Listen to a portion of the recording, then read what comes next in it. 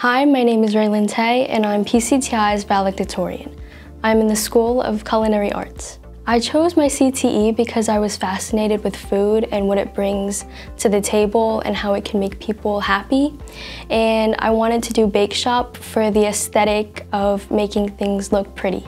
I was excited to be named valedictorian and it was a little nerve-wracking at first because I didn't expect this honor and I feel that my hard work paid off in the end even though that wasn't what I was expecting when I first went into PCTI.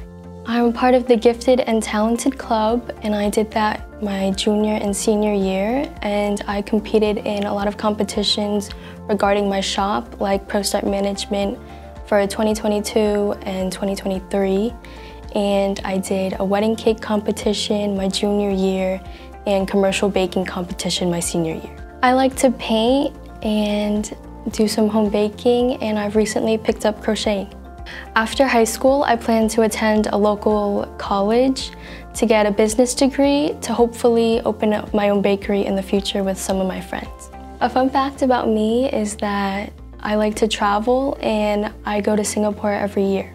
I'd like to thank my friends and family, my teachers from culinary like Mr. Ganari and Miss Ellie for teaching me the passion of culinary and their mentorship, and I would like to thank the last two people remaining in Bake Shop, Tasnia and Alexa, for keeping me company and allowing me to finish this year strong.